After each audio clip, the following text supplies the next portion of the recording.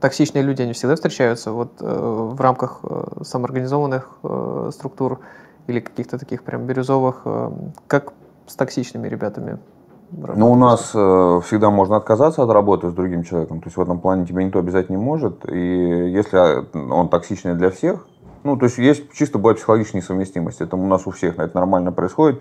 Но в данном случае просто ты своего находишь, он своего находит. Вы работаете, все счастливы. А, а бывает так, что есть человек, который вот у нас там магазин, пришел новый сотрудник, э, поработал две недели, они пишут там коллективное письмо, мы не можем работать с ним, все, просим, значит, э, освободить нас от этого человека.